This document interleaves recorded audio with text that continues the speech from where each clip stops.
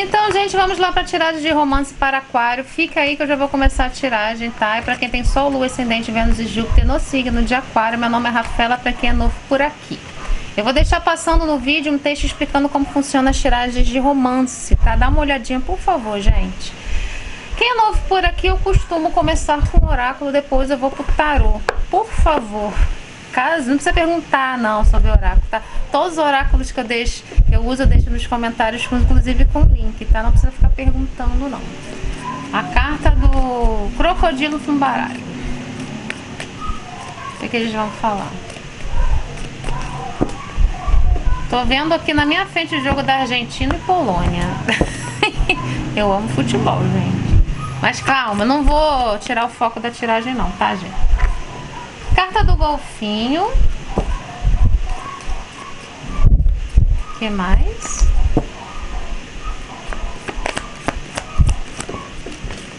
A carta da tartaruga. O que mais? Duas cartas de elemento água já, tá vendo? Beija-flor.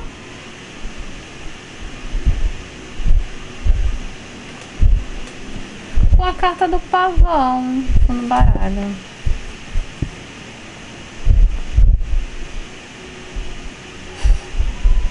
Sabe o que eu tô sentindo aqui? Que eu tô achando até fofinho. Eu acho que eu já fiz até tiragem de aquário assim. Mas foi nas tiragens do, de, de, durante a semana.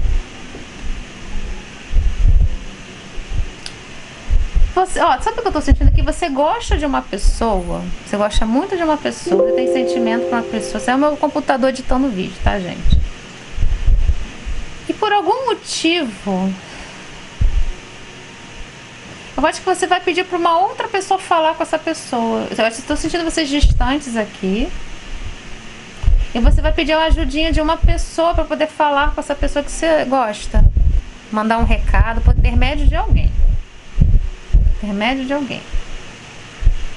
De repente, alguma coisa de viagem envolvida, vocês estão separados ge geograficamente e não estão se falando. Ela de repente vai precisar de ajuda de uma pessoa para poder ir até você para falar com você. Tô assistindo uma... tem três pessoas aqui. Tá?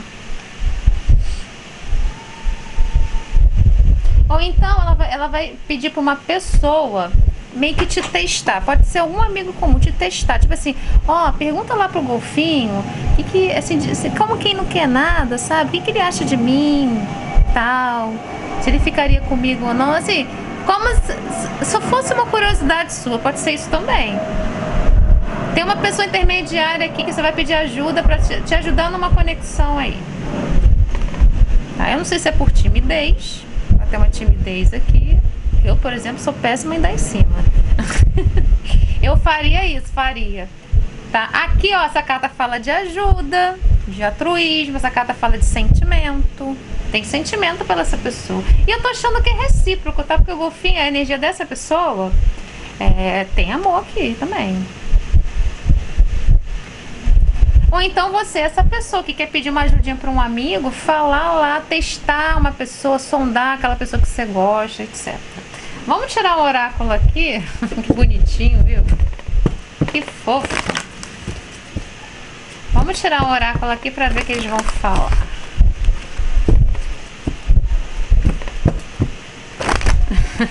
Deixa nos comentários. Pode ser você aqui, essa pessoa. Achei fofo. De repente você também tá pensando em fazer a mesma coisa.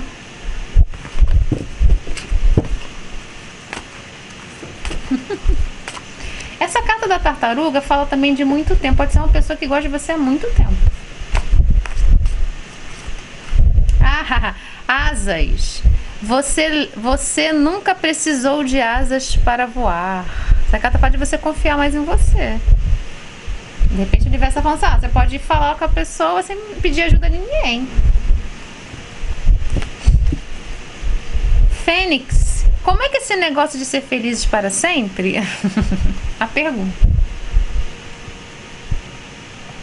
Quatro de espadas é a carta da estratégia. O que, que eu faço, meu Deus, com essa pessoa? O que, que eu faço para chegar nessa pessoa?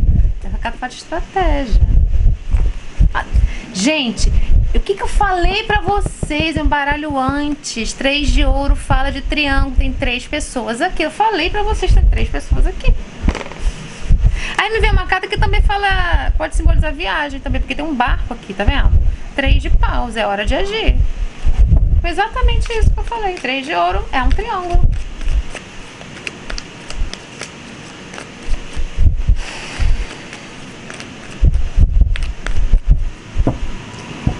Mas engraçado que tem essa tartaruga aqui no meio. Pode simbolizar que você vai pedir ajuda de um amigo de, ou amiga de muito tempo. Sei, vamos ver aqui com o tarô. Ó, o carro saiu aqui na minha mão. O carro fala de viagem também, pode ter uma viagem envolvida.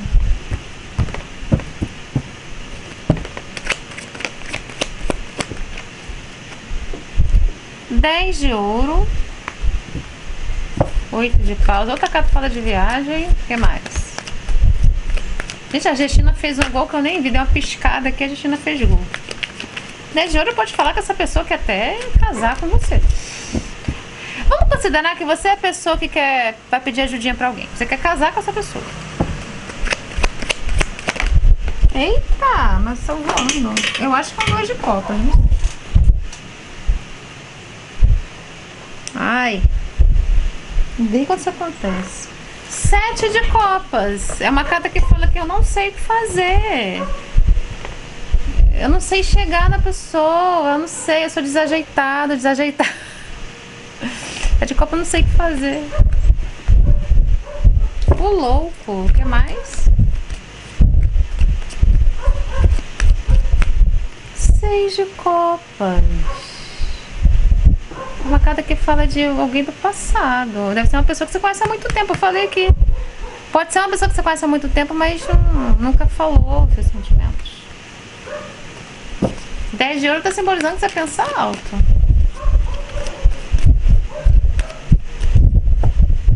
Vamos lá. Rei de paus, o rei da ação. Dois de espada. O que mais esse rei de paus tá aí?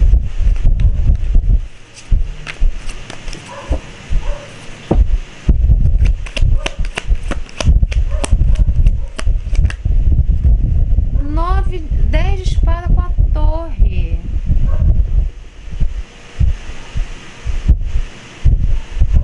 Gente, pega essa combinação aqui.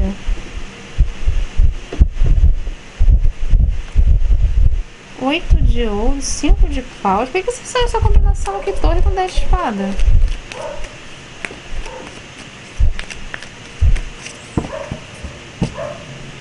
Depende se a pessoa vai aparecer. A justiça.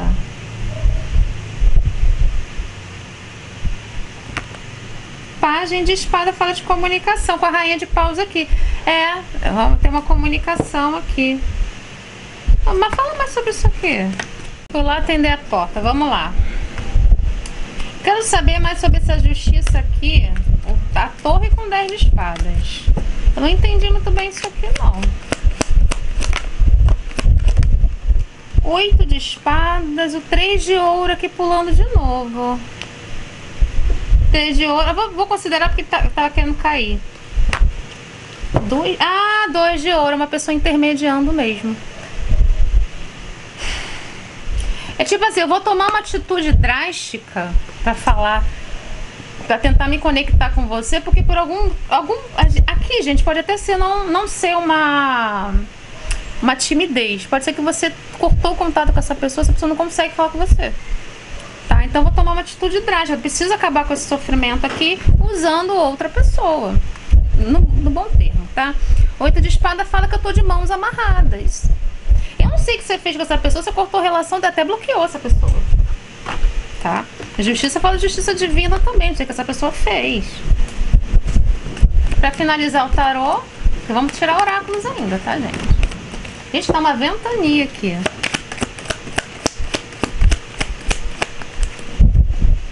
Nove de espada, uma preocupação, tá vendo? Uma super preocupação.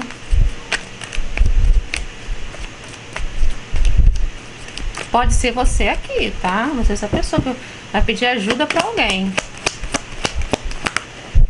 O dia. Gente, tem um pavor dessa pessoa. Essa pessoa tá em pânico, não consegue nem dormir direito, tá apavorada, desespero por causa de você. Tá parecendo uma outra tiragem aí. Cinco de copas, ó, cinco de copa com três de espada, lamentando pra caramba, triste. Mais uma aqui. Eu acho, gente, que essa pessoa não queria contar isso pra ninguém, que, que queria fazer isso com você. Ela se sentiu obrigada a fazer isso, porque fazer o quê?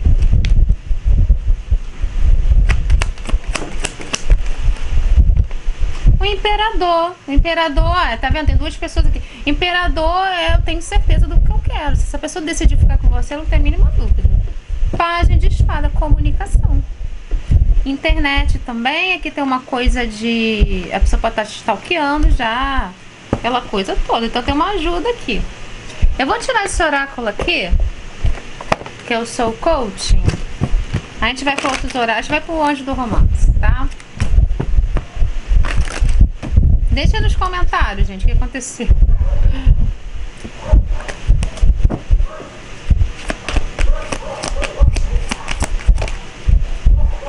Começos. Eu. Ai, como é que fala? Eu cuido de todos os ciclos da minha vida, uma coisa assim. Tem um novo começo aqui. Abrindo. Eu estou aberto para receber os dons, os presentes do universo. Isso aqui vem simbolizar que você, você vai ser receptivo a essa mensagem aí. Eu não sei. Isso aqui é um mensageiro. Pai de espada é um mensageiro. Vamos ver aqui. Ai, gente, olha só que tá embaixo. Engano.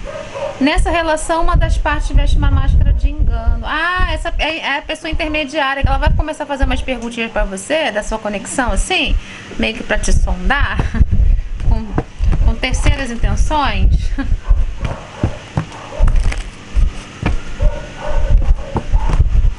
E você tá lá fazendo suas coisas, sabe? Essa carta fala de alegria, de leveza.